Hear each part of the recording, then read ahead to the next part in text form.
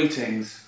Um, did my own music today because Wi-Fi is dodgy. I couldn't play a song.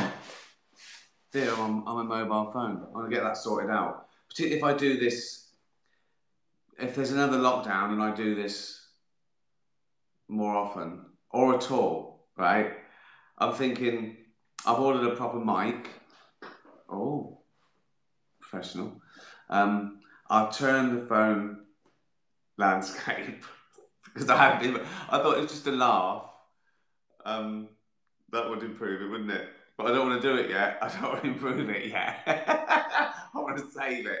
So it's spectacular. I go, oh, he's turned his phone the right way around. He's a professional. It's all smoke and mirrors. Um, I'll get a little light because soon it'll be dark at this time, won't it? If the pandemic carries on and it will because it's it's like that. yeah, um, it doesn't really know how inconvenient it is for us. How are you? I'll do a few. Oh, look, I've got a scar. Look at that battle scar. Do you know how I did that? Guess right. Okay, I'll, get, I'll narrow it down to two. Either I was fighting fascists on the street, right? With little bandana and everything, right? park, park the Volvo, right? Fighting fascists. Or I was getting a tennis ball out of a privet hedge, which it really hurt. Um, it hurts anyway, getting a tennis ball. Well, let me explain, right, quickly. So, um, we got a little place in the country and we had a tennis court, an all weather court. It's the best thing I've ever bought. Right? Um, it's basically all we use the house for. It's, it's this tennis court costs millions. Right?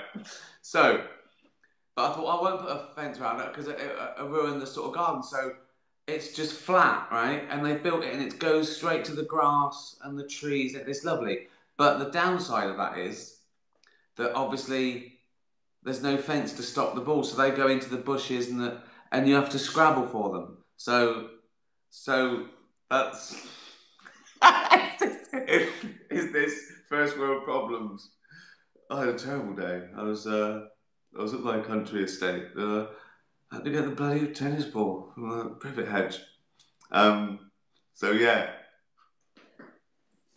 How are you? Um, someone just said, admit it, you tried kissing a parrot. Hello from Tokyo. Hello, Seattle. God, look at you. Tokyo, Seattle, Maryland. Um, Texas. I think Sundays is even bigger in America, isn't it? It's like half the people. New Jersey. Is that because maybe Wednesdays it's you're sort of at work and Sundays it's morning but you're off. Um, anyway, hello, St Albans. There you are. That's just down the road, up the road. Uh, I've got some questions. Again, right? I put up questions for about three minutes and I just got hundreds. So I choose enough and I try and be fair. And I stress, I think, oh, what if I missed a cat or a dog's question? oh, God. I got, um, and uh, like I've got a load of general questions. I've got things like how do you cast for roles? How did you cast the people in Afterlife? How do I choose extras? How do I decide what extras get lines here and there? So I'll answer all those in one one go. Um, well, nowadays I sort of cast the main cast myself in my head even before I write it because I've been around for twenty years and I know who's the best person for that for that role and I can get them. Um, obviously, along with maybe eight to ten main cast, there's always, you know, 60 small roles, which you don't cast um, sort of big actors for because it's just not worth it. You know, they cost a lot more than maybe an actor who might be just as good, but you haven't heard of because you build up your, you know, your worth. So uh, I still have a casting director for those uh, you know, smaller roles, and you, you talk to me say, someone like this, someone like that.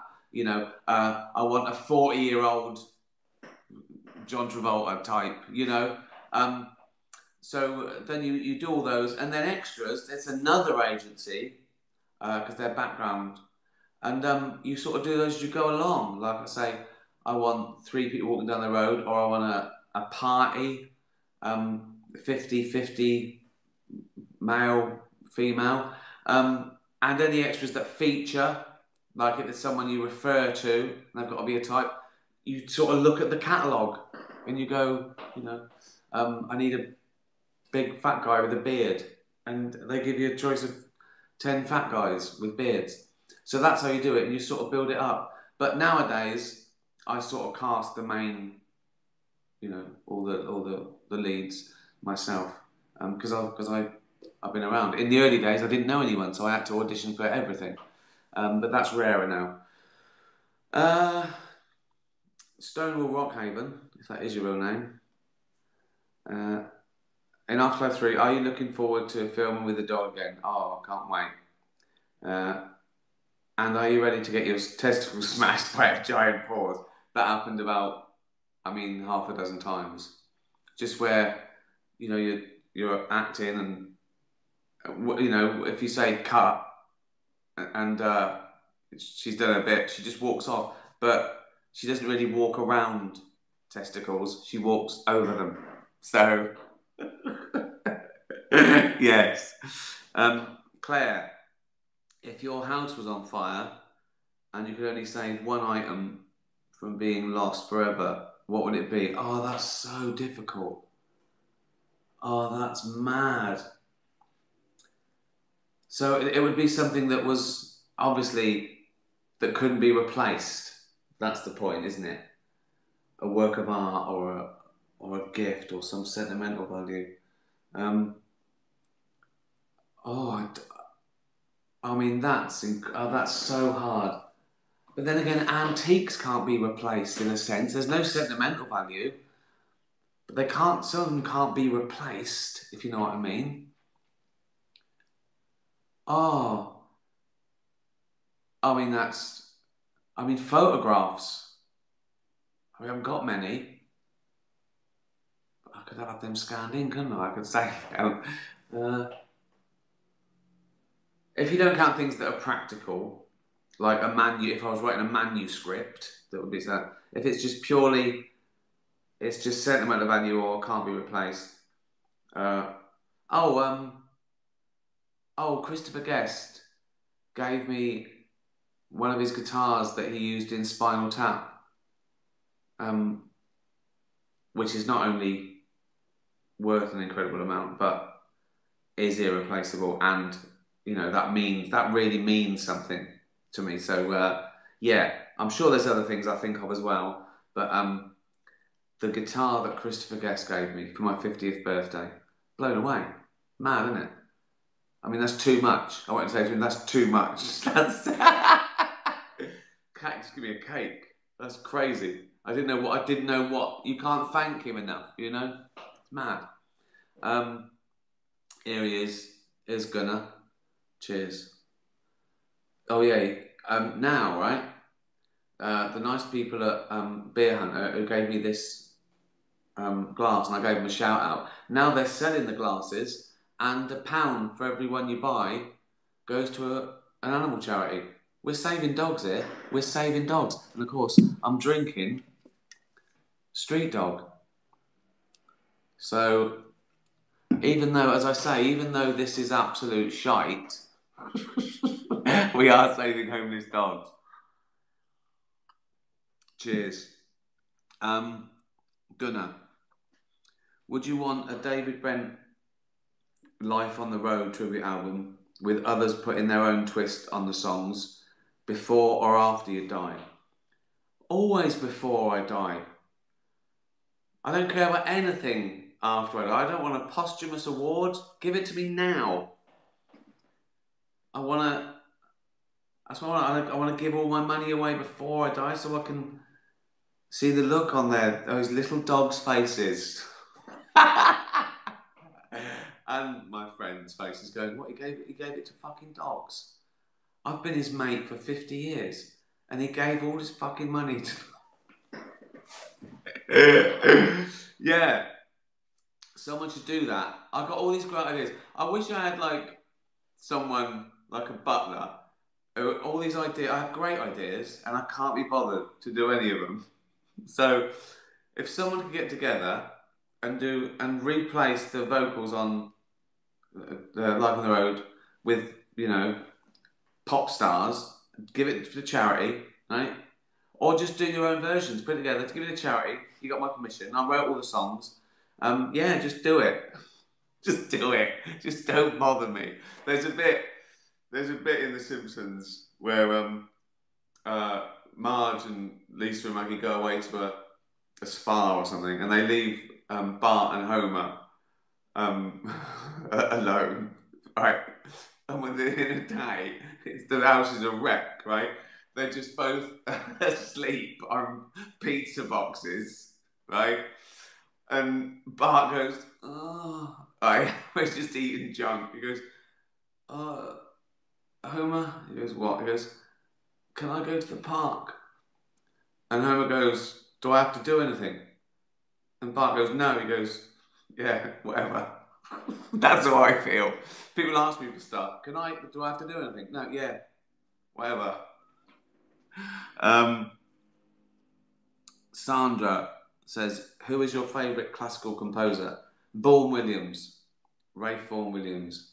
Um, it's just beautiful. I think he sort of, I think he sort of invented the template that became sort of film score almost. It was classical music, but it was very accessible and rousing and just beautiful and evocative. Um, yeah, uh, I used uh, um, a piece on uh, um, Cemetery Junction. It's uh, it's it's beautiful. Check it out. Um, five variants it is of Dives and Lazarus. Uh, Bella the Whippet. right. okay. Bear in mind that Bella the Whippet is a dog. This is Bella's question, right? this is funny. Right. Have you ever stuck your head out of a car window on a really windy day? I, I don't think so, but I well maybe. I used to get car sick, and that used to make me feel better. Um, yeah, that used to make me sort of feel. I, I don't. I'm still not, not sure what car. I don't think I get it anymore. Um, so uh, yeah, I, I quite like. It doesn't have to be a windy day, does it? When you're doing sixty miles an hour. Um, so uh, thanks for your question there. Um, Mariam says, in the outtake scene of Derek when you're eating the pickled onions, what made you lose it and then spray it everywhere? I just suddenly became conscious of the absurdity. I don't know why. It's one of those things where I'm just sitting there and I suddenly realise there's a film crew, right, and tens of thousands of pounds filming me going like that, and it just I went, what the fuck are we doing? so yeah, just suddenly all came tumbling down. Um, Susie Hope. Uh, oh, Nan passed away last night. Um, and could only hold her hand in full PPE at A&E. Oh, um, she loved watching you on a Sunday. She was concerned you only had one T-shirt. Um, if you could please raise your BrewDog for Nan Margaret, she would have loved that. Oh, to Nan Margaret. Cheers. Sad. Um, uh, Annabelle. Uh, is there anything you don't like people asking you about? Perhaps things that are too personal, or you find upsetting. Um, well, uh, yeah, I don't, I don't like that sort of gossipy stuff. I don't do sort of interviews like that. Um, but uh, only because it's like it's it's you know I don't I don't I don't care for it. I don't I don't know anyone anything or you know I mean those clickbait things. Guess who's going out with? I don't give a fuck. Or guess what? So and so. I don't give a fuck. See so and so's secret to wait. I don't give a fuck. I don't want to. I don't want to know. It's like so. Um, I don't. I don't. That bores me. Um, but I'm not. Yeah, I'm not worried about that sort of thing. I don't like. I don't like it when they ask me about other people and try and when they say, "Oh, what do you think of what so and so said?" I hate that because whatever I say, that's the headline. It's, it's usually Ricky Gervais slam so and so. I fucking haven't. Right? It's their business. I don't. I so I don't do that shit. Even if someone says, "Um, oh, is there anyone you hate?" I, I even if there is, I go, "No, no." Or what? Uh, what do you think of this film? Even if it's a pile of shit, I go, "Oh, I, I haven't seen it." I'm not gonna. I'm just not gonna join in that bollocks. It's horrible. It's fucking boring. And look where we are because of it nasty fucking clickbait, people hating on each other for no reason. Um, so yeah, I don't like that. I don't like I don't like that sort of that sort of gossip and mob rule shit, joining in, kicking people when they're down. Um, Hunter the Greyhound. Uh, Hi Ricky, thanks for all you do for animals. What is more annoying? Loud crisp crunching, chewing gum, or excessively loud yawns? That's a that's a tough one, Hunter. P.S. Can you shout out to Celia Cross Greyhound Trust? Cheers, Celia Cross Greyhound Trust. Um, crisp crunching. Well, that's hard to avoid. No one can eat crisps quietly, can they? So I sort of give them a, a it's not it's not fun. It's not fun for me. but okay, okay, you're eating crisps, right? Right. Um, chewing gum is inane, isn't it? That sort of thing. I, I can't stand it. Just people talking to you with a mouthful of gum and their mouth open as well. That's not that's not normal. Don't do that. Why are you doing that? That's mental. Don't, why are you doing that? So I don't like that, and that can be helped. There is no fucking reason for that. Um, but again, it's not an annoying noise as as much. Slurping. Oh, fucking slurping. I mean, the worst that is fucking disgusting is that people doing that. That's like, that's like death sentence. uh, but mild, these are mild misdemeanors. These are these are a warning or probation, maybe a, a, a tiny amount of jail time. Um, excessive loud yawns. Yeah, no reason for that as well. I told someone off on a plane once. So we were taking off um, from New York, and I was on like a, it was in first class, right? I was in the uh, window seat. Then there was two people there, and then Jane was sort of the other side there, where the, yeah. and the bloke here. Sorry, there's just a little R there, and the bloke here kept going. so I look first time, I thought, okay, fine. right, okay, always two, right? Okay, now, okay, we haven't even taken off yet. Uh, did it again. A couple of people were looking round, and they were sort of looking round, but they got my, they caught my eye because they're there. They can't see him, so they look round, and I and I, I it was not me, right? So I knew other people could hear it, so I wasn't. And I did it about five, and I made sure he wasn't there was something wrong with him, right? I don't know how I did that. I'm not a doctor, but. I gave him a quick assessment that right, he's not mental, he's just fucking annoying. And uh, he was like a 60 year old man with his wife, just read her. And after about the fifteenth one, right, he went. "Ugh, ugh." I went, sorry, can you um, can you yawn without all the ah afterwards? And he went, oh. hmm." And then he didn't do it again. So he could help it. So he was just doing it for his own amusement, right? Then I thought, fuck, now I've got a now I've got to sit next to him for seven hours. Uh, so it's that one, I think. I mean, you can't. Uh, how can you ask people to not chew gum or eat crisps? Um. So yeah, that one. Uh, Kermit, not not this, not, not Kermit. Another, maybe it's another frog. I don't know. Is Kermit a real name? It is, isn't it?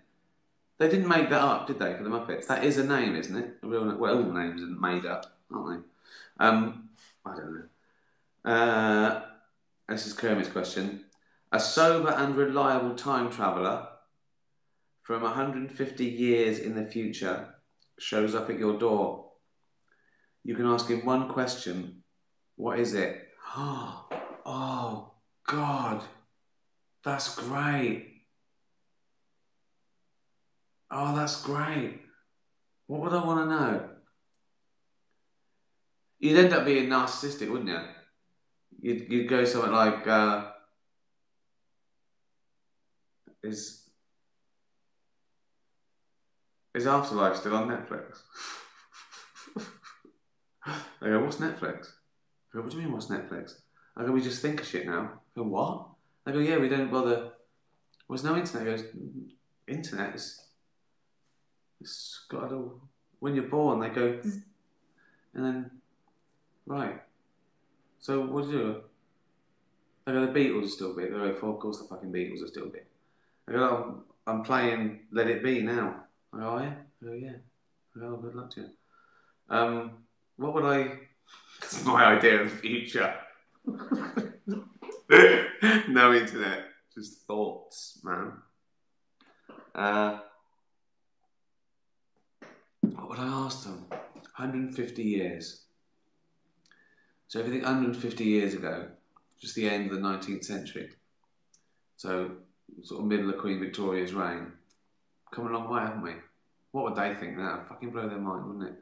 Um, could I just say, what's it like?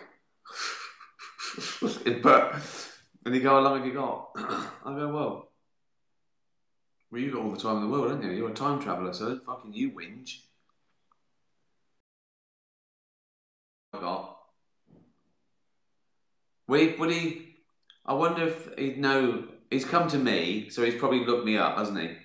So he'd probably know when and how I died. I'd say, is there anything you want to tell me? And like he might say, yeah, don't cross Tottenham Court Road drunk on the 5th of June 2023. And I go, oh, okay. You know what I mean? He might, he might. I might, I might try and get him, give me some cryptic clues. like, is there anything I should do today? And he go, yeah, check your prostate. I go, right, okay. So, you know what I mean? I might do that. Um, I might just go as the Prime Minister. And he go, like, oh, I've never heard of him. I go, I know. He What would you ask that for? I go, no, I've wasted a fucking question there.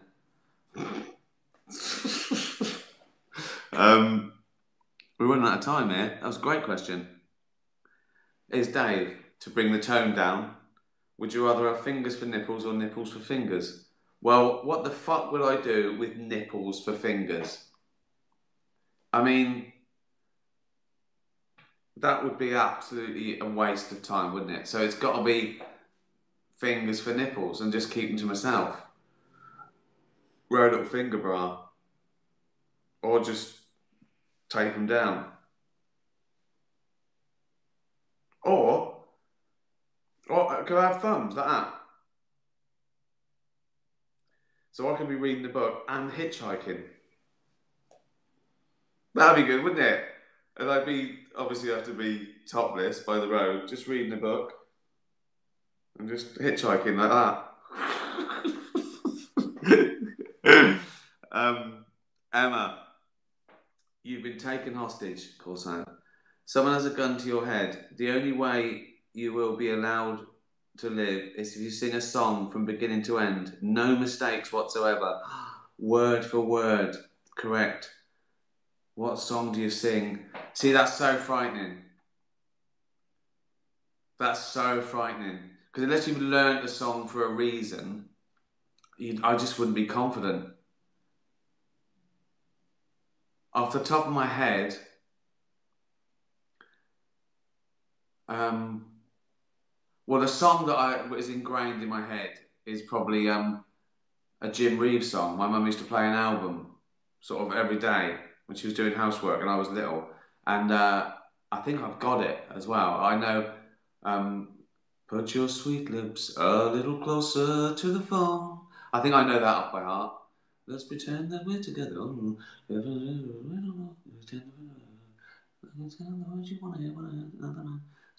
Yeah, I think I'd do that one. I think I, I think I nailed that. Yeah, that's a good question. Worrying, stressful. um, Freya, where do you get your inspiration for your stand-up jokes? Everywhere, just like this. anything can, you know. Think of all the shite we've come up with. We could have had about nine stand-up shows from these bollocks things. Um, although I don't think cocking a drain would make the cut. That wouldn't have made it into humanity. he didn't say it had to be good. But yeah, everything. You think of something, you watch telly, walk down the street, think of something you, you know someone said to you when you were a kid, and you you know you, you work on it and find the funny in it. And it can be from anywhere. It can be things that annoyed you, made you sad, made you happy. It could be anything. Depends. It just depends. But you can find the funny in anything. Um, Rupert, here we go. What's this? How would you describe yourself? What's that? What's that for a question, Rupert? Um, uh, I don't know. Fat, funny, happy. How's that? Or is that that could be you, couldn't it? I could be describing Rupert. um, oh, he's got another part. Monkey News and Idiot Abroad. After be two of your best shows, have you considered writing a comedy show where an old codger travels to different churches to convince the parish there is an alter- alternative to God? If you use this idea, I want my cut. Um, no, well, there are some shows like that. I mean, I think uh, people like Richard Dawkins has gone around discussing religion with religious people and non-religious people, discussing why people are religious, and um, uh, but that's not my sort of thing. I just I, am too lazy. It's like travels. The, the word travels. I'm out. like this. Can you sit on your ass in your house talking for half an hour? Not a fucking problem. Drinking beer and saving dogs? Yes. I'm in. Can you travel to. No, I'm out. Um, uh, talking about saving dogs, we got one more question. Oh my god, I've got one more question. Joey, I can't leave out fucking Joey. Uh, thanks to everyone who voted for me um, on that Who's uh, Calling Christian thing. I think they decide. I think the votes counted um, tonight. Uh, if I win, all Dogs Matter get 20 grand um, Australian dollars. Uh, and the person who told me to call in, which is some bloke on Twitter called Greg, uh, he gets 20 grand as well. I'm sure other people have told me about it, but he was the one that I saw first and called. So if you have voted, thank you very much. And if we win, that'd be amazing. 20,000 Australian dollars to uh, all dogs matter. Cheers. We haven't won yet, but you know. Right, last question. Joey.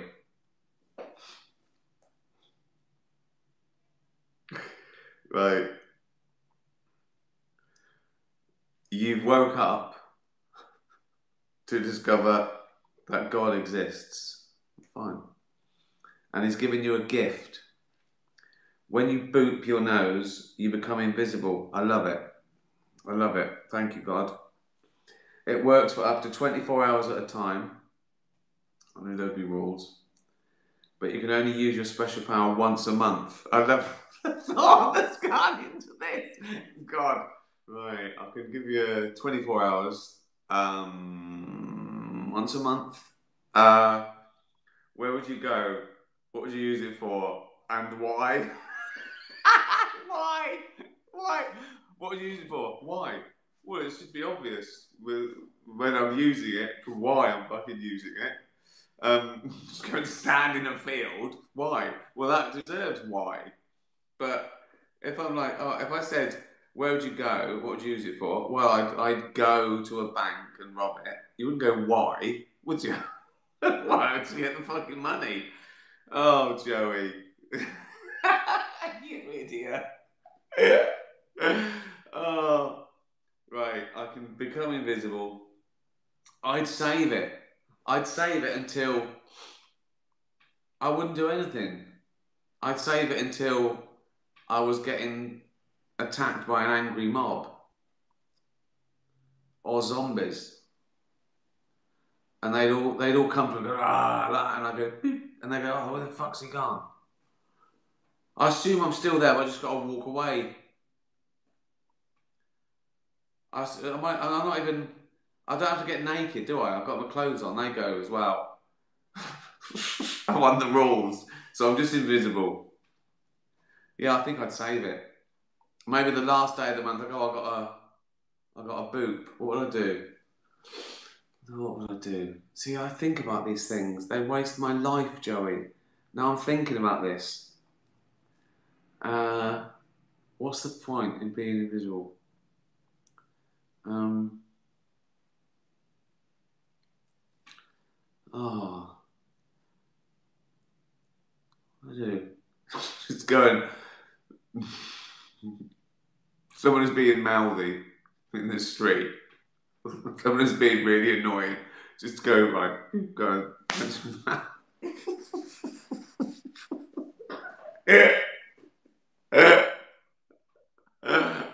a waste of a superpower. What does he do? Oh, he uh, once a month he goes invisible and punches someone in the face. Good. Well, that was an absolute fucking waste of time, wasn't it? Um, thanks for voting for me and who's calling Christian. Thanks for buying Street Dog. Uh, buy your glass from um, Beer Hunter, and they give a pound. Uh, and I'll try and get this sponsored so we can um, get some serious cash going that we can uh, save some more cats and dogs. Um, I'll turn the screen that way, get a nice mic, lovely light, get some cash for me, give some to a dog, some for me, some to a dog, thousand pounds for me, a treat to a dog, thousand pounds to me, a bone dog. um, stay well, stay safe, retweet this, uh, and uh, be nice to animals. Tatty bye, everyone. Tatty bye.